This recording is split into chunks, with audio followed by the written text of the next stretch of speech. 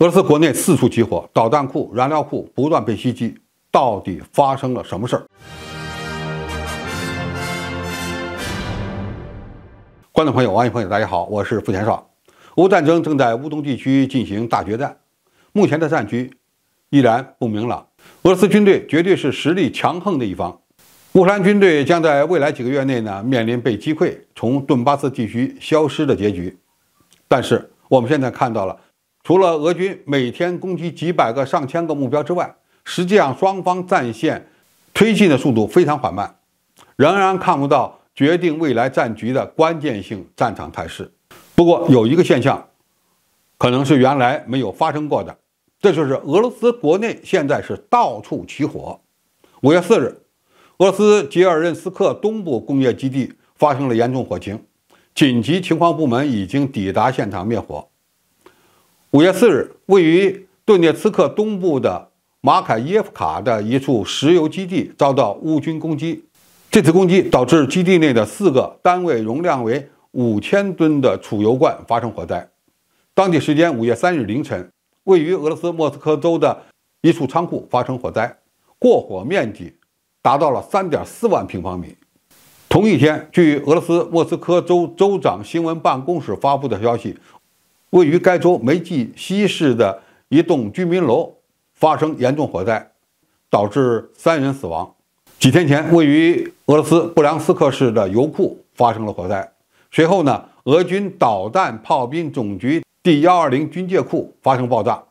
同时，俄军还发现布良斯克通往乌克兰的铁路系统遭到破坏，导致俄军后勤补给线被切断。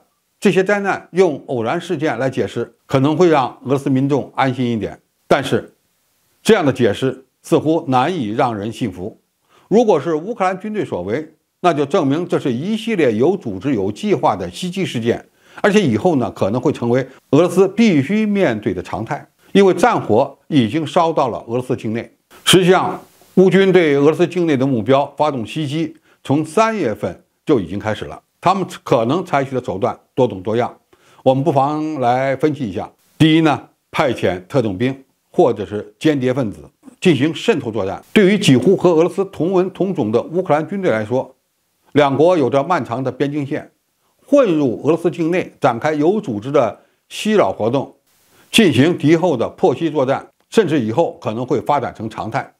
第二呢，用无人机实施远程精确打击。在俄乌边境地区部署的俄军的 S 三百、S 三五零、S 四百中远程防空导弹武器系统，目前都难以对付那些尺寸小、飞行高度低的巡飞弹的突袭。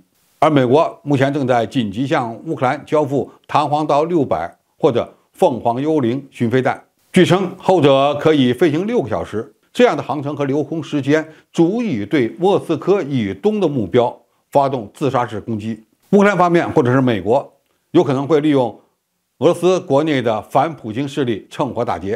俄罗斯国内的亲西方力量，特别是西方资助下的反普京力量，完全有可能在国内发起破坏俄军作战潜力的行动。俄罗斯的反战力量虽然并不强大，但是不能排除有人火中取栗，变成第五纵队。总体而言，俄乌在乌克兰东部地区的作战已经出现了长期化的苗头。俄罗斯军队开始重点打击乌军的仓库、燃料库和火车站等目标，就是要切断乌克兰军队的后勤补给线。而乌军呢，也没有闲着，正在用自己的办法。打击俄罗斯的军工企业、铁路和边境地区的弹药库、燃料库，从而瓦解俄军的攻击能力。如果这么玩下去，俄乌战争就会变成一场真正的消耗战。美国正在以俄罗斯战斗到最后一个乌克兰人，俄罗斯的国力真有可能会被严重削弱，而获利最大的就是万里之外的美国，而受损最大的当然是俄乌两国和欧洲。好，今天的评述就到这里，谢谢大家收看，我们下期再见。